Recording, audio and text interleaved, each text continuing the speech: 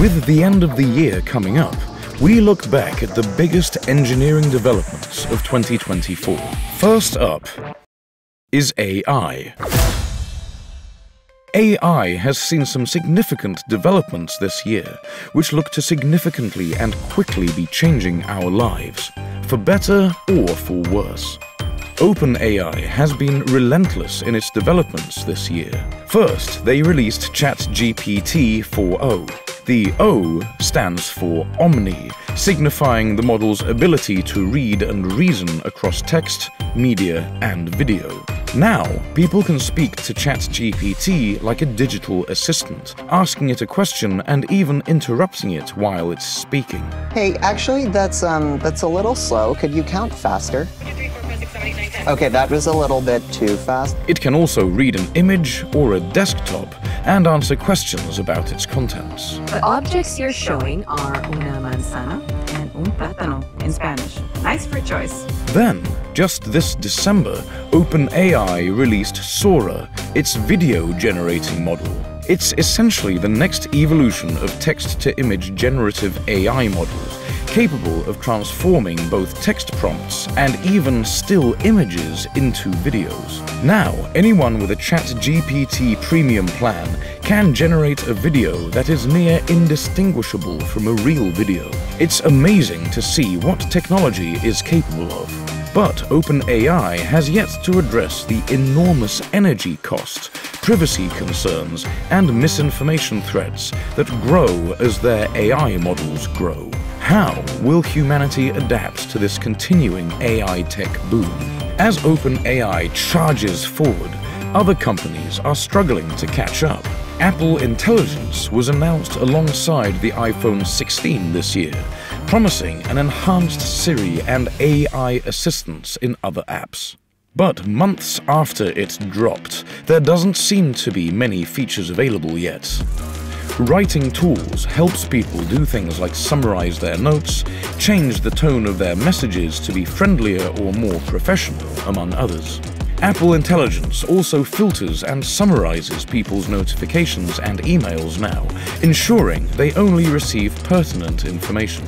Compared to the capabilities of its competitors, Apple Intelligence feels lackluster, but Apple says they are phasing the release of features to ensure the privacy of its users instead of rushing them out the door. Their caution is certainly appreciated, considering the ethical concerns plaguing OpenAI's models. Apple has long since presented itself as a company that values its clients and their data privacy.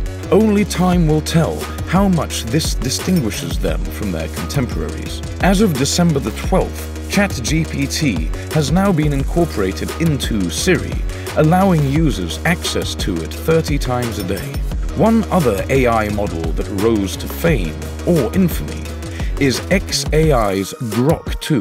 This year, the Grok 2 beta was released to Twitter or X premium subscription users, generating both text and images for them. But unlike its contemporaries, Grok 2 had much looser restrictions on the images that users could generate. This caused much controversy, especially during the presidential elections. The image generator was capable of creating pictures of the presidential candidates boxing, or even recreate brands and copyrighted characters. The model was a response to Elon Musk's distaste for his competitor Google and their Gemini AI, calling them a woke bureaucratic blob. Grok 2 itself is still in its beginning stages, but the company behind it, xAI, was able to raise around $6 billion to fund development in May. Who knows how this controversial AI will grow?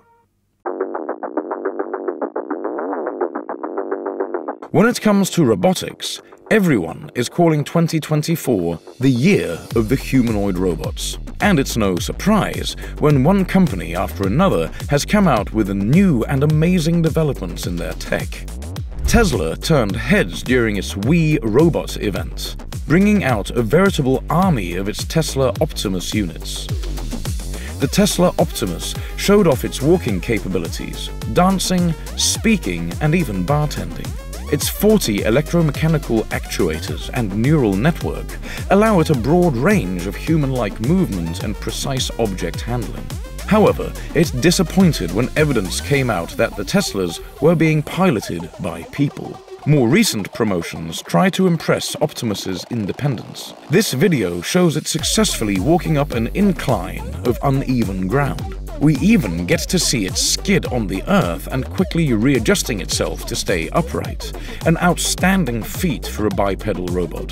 Another robot lighting up the internet is the Boston Dynamics Atlas. Just this year, it got a complete revamp, changing from a hydraulic robot to a robot with electric 360 degree joints. This gives it a flexibility that is unique to it compared to other humanoid robots.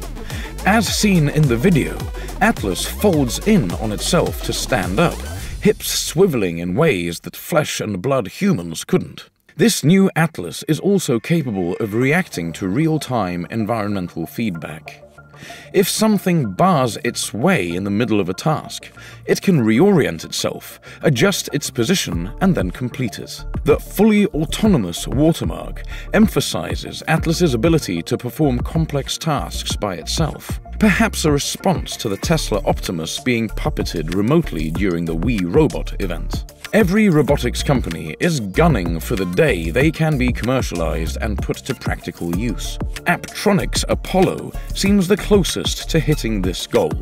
This year, they released a video collaborating with Mercedes-Benz, showing Apollo units assembling a car piece by piece. If this collaboration is successful, the Apollo could revolutionize the industrial assembly line.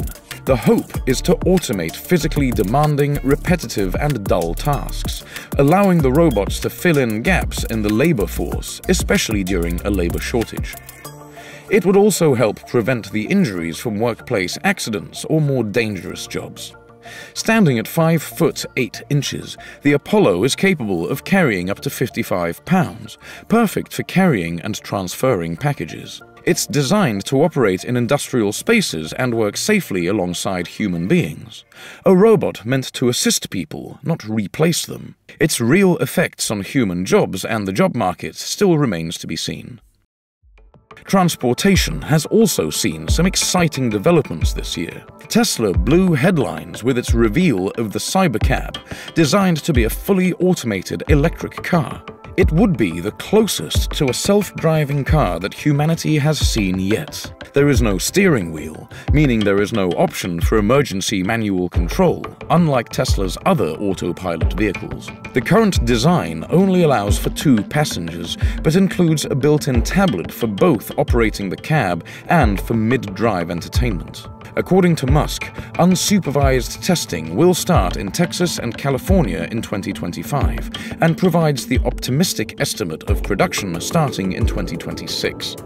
For any Texans and Californians concerned about street safety, there's one comfort. Trials will launch with a remote operator behind the wheel for safety or redundancy purposes. Considering the Tesla FSD's record of car accidents and recalls, it's good to hear they aren't jumping into the deep end with their self-driving cybercab. Meanwhile, people have also been eagerly looking into more eco-friendly public transportation and taking it to the air. Joby Aviation demonstrated their flying hydrogen electric taxis capabilities earlier this year, traveling 841 kilometers and producing only water as its exhaust. With its hydrogen-powered fuel cells, the flying taxi could become a more environmentally friendly alternative to traditional gas-powered jets for mid-range regional travel. Flights from San Francisco to San Diego no longer risk heavily damaging our planet's atmosphere for a relatively short flight.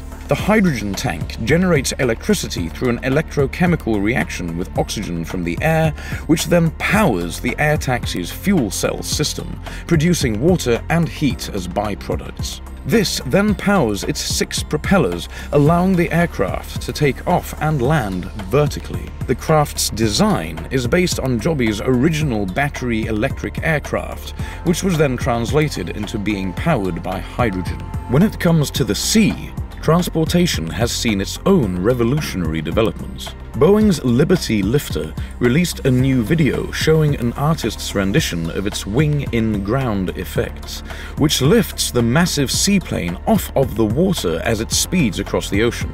According to Aurora's statement, the program aims to design, build, float, and fly an affordable X plane that demonstrates revolutionary heavy airlift capability from the sea. It offers enhanced capabilities for sea based research and rescue operations and improved disaster response efficiency across challenging maritime environments.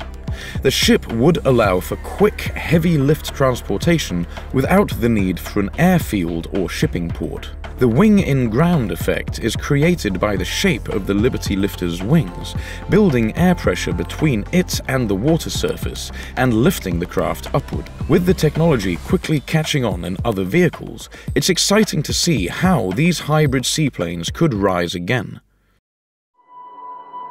This year has proven itself an exciting year for space travel, full of many ups and downs. SpaceX rocked the world when it successfully caught its super heavy rocket booster from falling through the sky using only a pair of massive metal chopsticks. The booster alone is as high as a 20 story building. It oriented itself for a controlled descent by performing a flip maneuver. This positioned the engine downwards, allowing for better precision for its landing. With the booster's mid air catch, SpaceX has now unlocked what could be the solution to reusing rockets and quicker setups for the next flight. This is all in service of Elon Musk's goal to establish human settlements in Mars. Technology is still a long way away, but this is just one small step towards space flights. To help augment humanity's travel towards the stars, we've designed robotic companions who can journey where we currently cannot. Companions like an AI-powered robot dog capable of leaping across the rugged low-gravity surfaces of asteroids. Inspired by a cat's ability to twist and land on its paws, researchers from the Harbin Institute of Technology developed this robot using reinforcement learning. Instead of relying on heavy stabilization hardware, the robot employs a model-free control system to swing its four legs in coordinated motion. Such a design allows the robot to adjust its posture mid-air, correct tilt, and even reorient to face a new direction. The robot is meant to address the struggles robots with treads or wheels have when it comes to navigating low-gravity areas. If the tech develops further, astronauts might just have a new best friend. This time, little Taters didn't need to leave the comfort of its own home. Earlier this year, NASA was able to stream a video via deep space laser showing the orange tabby cat Taters chasing a laser of its own across its sofa at home. The video traveled a whopping 19 million miles from space to be received by the Hale telescope at the Palomar Observatory. Crossing that distance only took 101 seconds, streaming at 267 megabits per second. For comparison, the average internet speed in the United States is around 219 megabits per second. The demonstration is part of the Deep Space Optical Communications mission, which aims to develop more advanced communications capable of crossing distances further than the Earth and Moon. At this rate, astronauts will be able to stream Netflix faster in space than on Earth. Space might be humanity's eventual goal, but that would mean nothing if the Earth is destroyed. Thankfully, we've seen plenty of developments in the worldwide effort to shift to cleaner, more sustainable energy. Nuclear fusion energy has seen huge leaps this year, with scientists in Oxford setting records with their joint European torus. The massive donut-shaped machine was able to sustain 69 megajoules of fusion energy for 5 seconds, using just 0.2 milligrams of fuel. That's enough to power about 12,000 houses for the same amount of time. Nuclear fusion is so potent because it's the same energy that fuels the sun. To produce such energy, Deuterium and tritium atoms were forced to fuse together under temperatures of up to 150 million degrees Celsius. That same process then released extreme amounts of heat, which is then used to generate electricity. If we can properly harness this nuclear fusion, it would mean boundless energy for people all over the world. The growing potential of nuclear energy has also seen progress in a different field size efficiency. Small modular reactors are nuclear reactors that can be crafted piece by piece in factories, saving money and time by just assembling it in sections on site. They only take three to four years to build compared to the 10 years for a traditional reactor, while having a third of its power capacity. They are also much safer than traditional reactors, which are already safe enough when properly managed. Nuclear positivity is rising again as more research is poured into ensuring their safety and stability, while reducing its costs and the space necessary. Its power can provide carbon-free electricity without the reliance on the weather that wind and solar power has. With the current focus on clean energy, batteries and energy storage have become a major concern. Current lithium batteries are not environmentally friendly and last only 5 to 10 years. Enter the solid-state battery. It uses solid electrolytes instead of liquid electrolytes, which allows them to charge faster than regular lithium-ion batteries. They also have 2 to 10 times more energy capacity. Just this November, Huawei filed a patent application for their sulfide-based solid electrolyte technology. Toyota, Nissan and Samsung are already applying such batteries to their electric vehicles as well. Because they are smaller and more energy dense, they allow for an EV to be more lightweight or have more speed and distance for the same battery size, depending on the design. Either way, it would push EV capabilities further than they ever have before. Remember to hit the subscribe button and ring that bell to stay updated with our latest content.